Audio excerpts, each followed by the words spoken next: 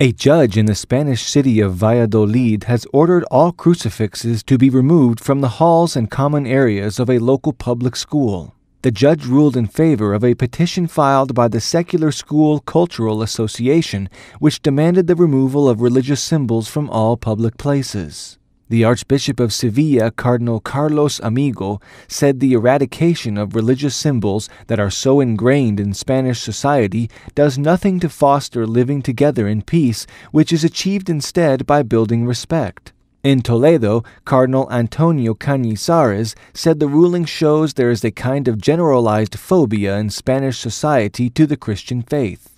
After the ruling was issued, the mayor of Valladolid, Francisco Javier León de la Riva, said he did not consider himself to be subject to it and would keep in place the crucifix that hangs over the mayor's assembly hall.